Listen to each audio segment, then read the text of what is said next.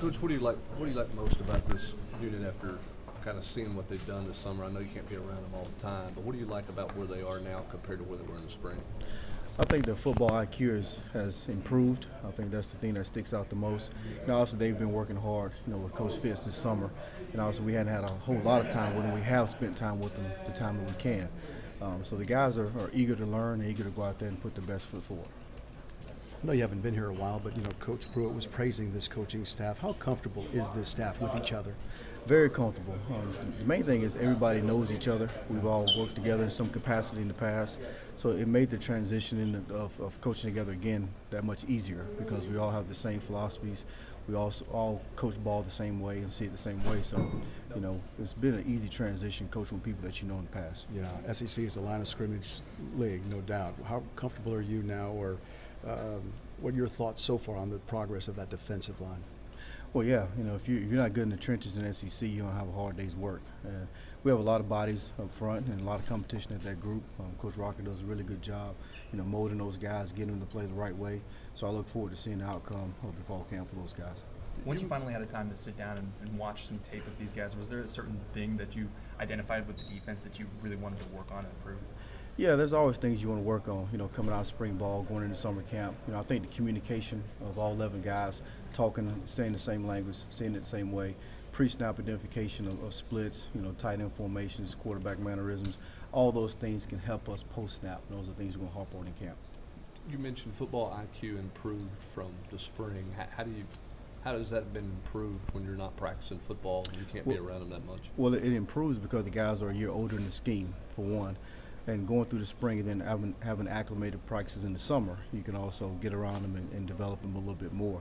So I think the familiarity with the, with the scheme, the coaching staff, I think that kind of helps guys calm down, take a take a, a, deep breath, and see things a little bit clearer. How much competition do you think you have at, at safety and, and at maybe the, the nickel and, and the dime spot there in, in this you know, as you go into camp?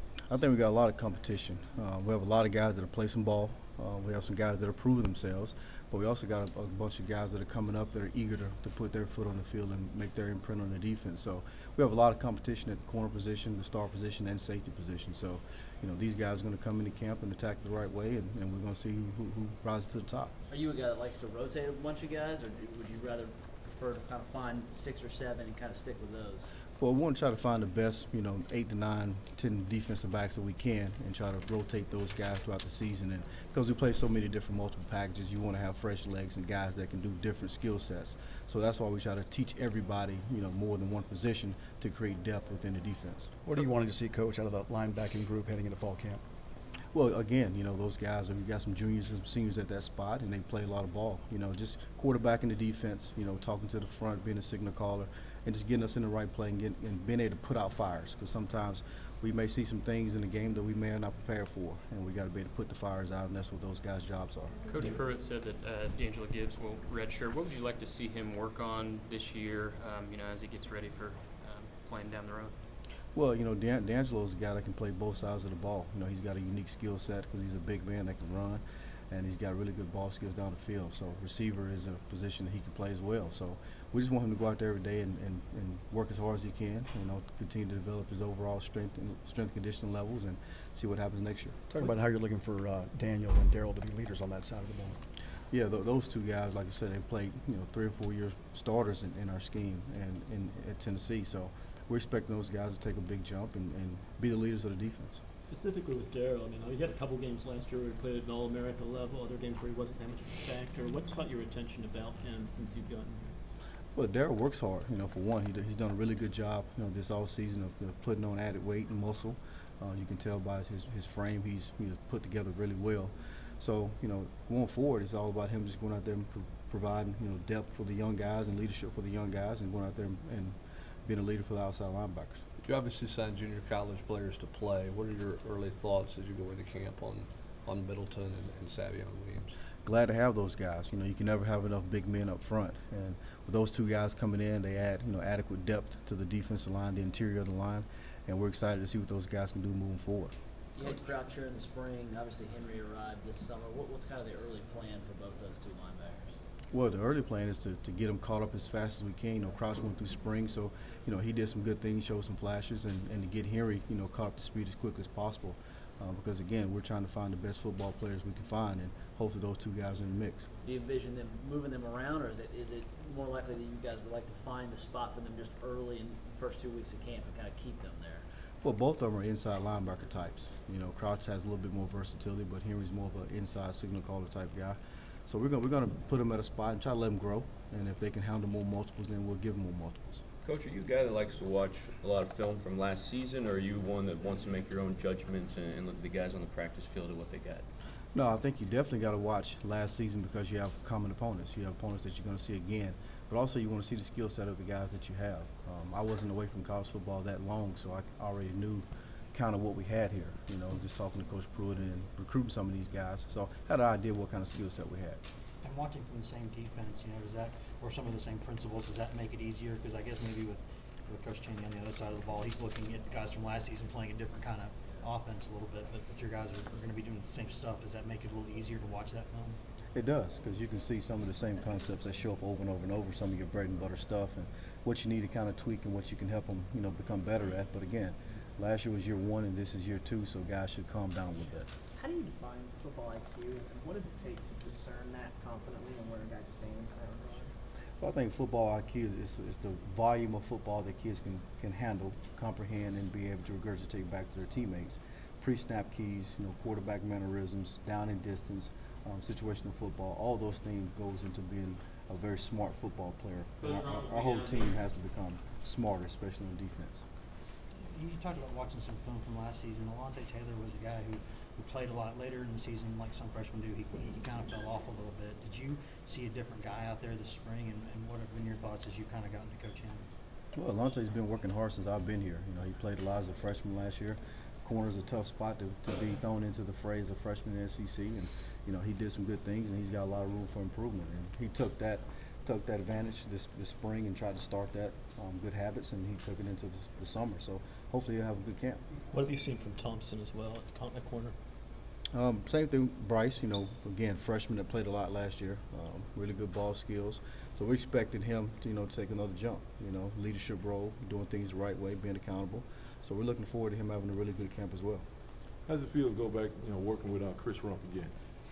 Feels really good, really good. Chris is one of my mentors. Um, I've known him for a long time, and we work well together. Good, good.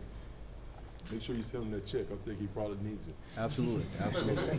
You talk about guys like, you know, Alontae and, and Bryce and kind of having to go through the fire a little bit last year as freshmen. But having those those guys that have that much talent at corner and they're still young but they've got some experience, does that kind of give you a nice building block at that position with those guys? Oh yeah, absolutely. Um, because the style of defense we want to play, you have to be really good on the outside, on the perimeter. Uh, if you can't have, if you don't have really good corners, it places a limitation on your defense. So, you know, with those two guys got a lot of room to improve. They got a lot of work to do, uh, but they're trending in the right direction. How do you coach a guy to kind of be as, you know, because y'all want, you know, aggressive out there, playing a lot of man, a lot of press stuff. Where's that line between being aggressive and, and being too aggressive? How do you kind of, how do you, how do you kind of teach guys that fine line? Well, I think as a coordinator, I think you got to play to your strengths, and you have to identify early what your strengths are going to be, and be able to call the game and be able to adjust to that strength. If you don't have really good corners, then you have to play a different style of football. Um, so, but again, you don't want to leave those guys out there exclusively on their own. They, they need help like everybody else, and we're going to try to provide it with that. I know it's really early on, but have you been able to identify any of those strengths of this defense so far? Well, the, the strengths are I think we have some experience back. I think we have some guys that played a lot, um, whether it be last year or the year before. So guys have seen SEC football live and in color, and, and for me that's a big thing because this league is so so dominant, so physical that you want guys that have play tape and game time. Um, so a strength of ours is going to be guys that have played. You know, we got to build our identity this camp. Is Roman Harrison someone that could give you guys, you know, Jeremy talked about those designated pass rushers. Is he a guy that you guys are kind of looking at in that role as he kind of continues to learn the defense, but just with help that y'all need opposite of Darrell Taylor? Yeah, we hope so. We hope so because if you can't affect the quarterback, you can't win. You know, so we're gonna, you know, push Roman to see how much he can he can handle, and hopefully he can be that edge guy. You know, opposite of Darrell on some situational packages that can help us rush the quarterback. Absolutely. Has this summer and the last few weeks been any different for you leading into this camp as a first-time coordinator versus being a position coach? And what have been those differences for you? Yeah, the, the biggest difference is is preparing for the whole defense. You know, understanding that my role has increased with, with the responsibility and making sure everybody's aligned the same way, uh, from the coaching staff, from the from the players, from the support staff, to make sure we're all going in the same direction. So that's been the biggest biggest learning curve going forward this summer. With a guy like Nigel Warrior, how do you, as a coach, how do you take all that kind of physical talent that, that he has and turn it into being maybe more disruptive in the game with you know getting picks and you know, forcing turnovers? And it just seems like with all the parts there that he's got the ability to do that. How do you get that out of him? Well, I think practicing the right way, you know, practicing the right habits, you know, doing it the right way over and over and over, and creating those kind of habits will, will show on the, on the field on Saturdays. Because Nigel is a guy that has a lot of ability, and it's my job to make sure he's playing at a high level. When you're calling a defense for a head coach who's had experience calling a defense, how does that relationship uh, work, and how's it been going so far with Coach Pruitt? Well, you know, I, I've never called a defense with a head coach before, but just in the past, been on different staffs of that nature. You know, the head coach has always had input, and he always is an extra set of eyes, so to speak. And I'm sure Coach Pruitt will be the same way. You know, he has a lot of ideas, uh, very bright. He's done this for a long time, so I'm sure I'll lean on him every day, you know, throughout this process. As a first-time coordinator, having a staff with this much experience, I got to imagine that's about as good as a situation can be when, when you look at kind of the experience that, that's in that room when y'all are having meetings and stuff. Absolutely. You know, that was one of the, the draws for me to come take this job because it was very, you know, glamorous because our guys did have a lot of experience and they, they know how to do it in this league. They've done it before, proven veterans, and they're good men. So that was very attractive for me when I decided to take the job. Take two more questions, guys. Have you seen Trevon Flowers develop, and, and what's you know as a guy who didn't play a lot of football in high school, what, what's kind of the is, is have you seen a, a big jump in him, and what's the challenge for him to get ready to maybe take on a bigger role this year?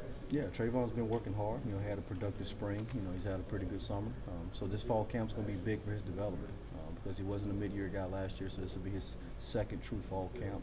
Uh, we all know he missed some time in the fall, so this will be a big camp to get him fine-tuned to, to be a big-time player for us. Last question.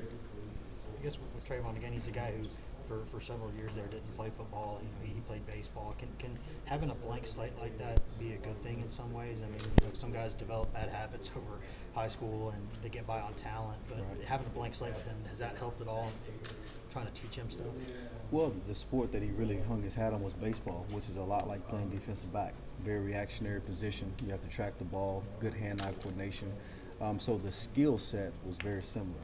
Um, the contact part's not there, obviously, but he's shown every us every sign that he's not afraid of contact. So we're, we're excited about him moving forward. Thanks, guys. Thank you, Coach. Thank you.